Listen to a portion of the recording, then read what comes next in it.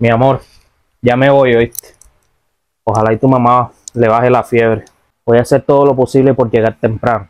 Ahí dejo una sopa, se las calienta y se las das. Ay, Dios mío, cuánto me duele ver a mi esposa así enferma. Confiemos en Dios de que todo va a cambiar. Nos vemos luego, mi amor. Mami, confiemos en Dios que te vas a mejorar. Voy a ir a hacer el aseo. Ahorita vengo.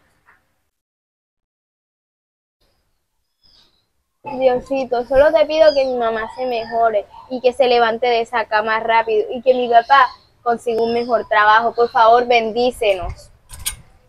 Es muy difícil adorar a Dios cuando no se entiende lo que está pasando. El que estés pasando por un desierto no significa que sea tu final. Esto es temporal.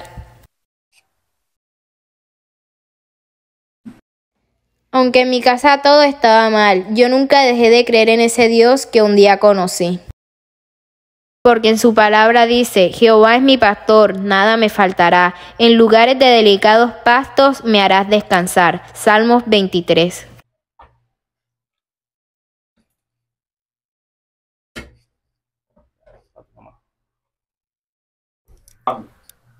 Mami, mami, ¿cómo te sientes? ¿Te bajó la fiebre? Ay, hija, la verdad es que ya me siento mucho mejor. La fiebre me bajó, que era lo que más me tenía. Mira, te traje esta sopita. Ay, mi amor, gracias. Te ha tocado muy duro en estos días. Que Dios te bendiga, mi vida. Mami, lo único que quiero es que te mejores y que mi papá consiga un mejor trabajo y Dios bendiga a nuestra familia. Eso es lo que todos los días le pido a Él.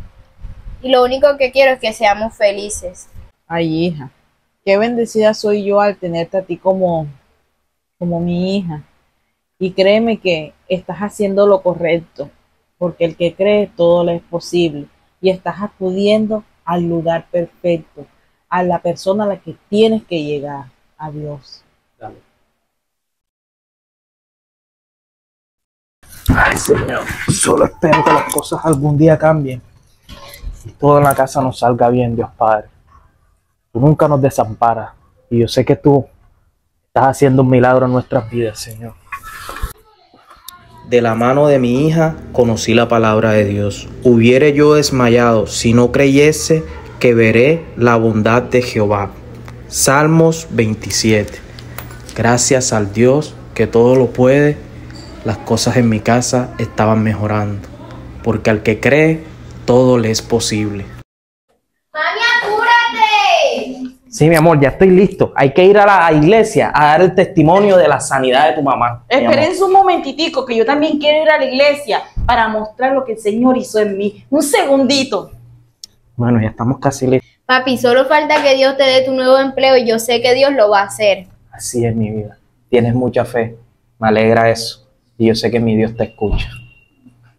Rápido, Natalia, que vamos para la iglesia. Vamos, que ya es tarde. Ya, mi amor. Ay, mi amor, ¿quién iba a imaginar de que Dios no solo iba a hacer un milagro de un mejor empleo, sino de que iba a ser dueño de mi propia empresa? Así es, mi vida. El Señor hizo un milagro en nosotros. Así es, mi amor, gracias a nuestra hija. Si ella hubie- no hubiese insistido en que buscáramos de Dios, hoy nos estuviéramos echando el cuento. ¿Quién sabe qué hubiese pasado de mí con esa enfermedad? ¿Sí o no?